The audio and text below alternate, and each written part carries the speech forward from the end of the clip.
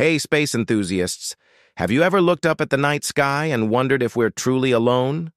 Sometimes, the universe throws a real head-scratcher our way, and that's exactly what happened with a comet named 3I Atlas. When this object first appeared, it sparked a wild theory. Was it an alien ship?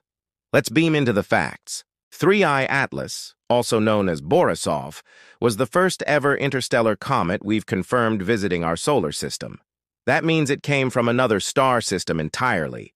It had a crazy, elongated, cigar-like shape, which got a lot of people thinking of sci-fi spacecraft like Oumuamua before it.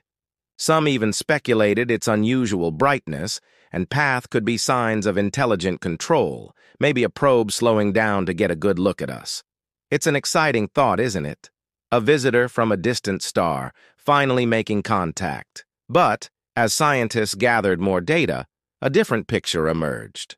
By observing the light reflecting off 3I Atlas, they found it was surrounded by a cloud of dust and gas, just like a regular comet.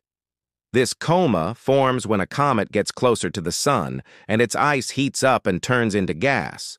Spectrographic analysis revealed familiar chemical signatures, like cyanide and diatomic carbon, which are common in comets from our own solar system. So, while the idea of an alien starship is undeniably cool, the evidence points to 3I Atlas being a natural, albeit extraordinary, cosmic traveler.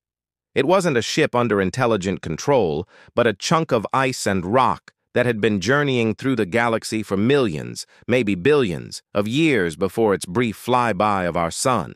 It didn't signal alien life, but it gave us an incredible, unprecedented sample of the building blocks from another corner of the universe. Even though 3I Atlas wasn't an alien vessel, its journey is still mind-blowing. It reminds us that the cosmos is full of wonders we're just beginning to understand. Who knows what other interstellar visitors are on their way? What do you think? Let me know in the comments below. If you enjoyed this cosmic deep dive, be sure to hit that like button and subscribe for more space mysteries. Thanks for watching and keep looking up.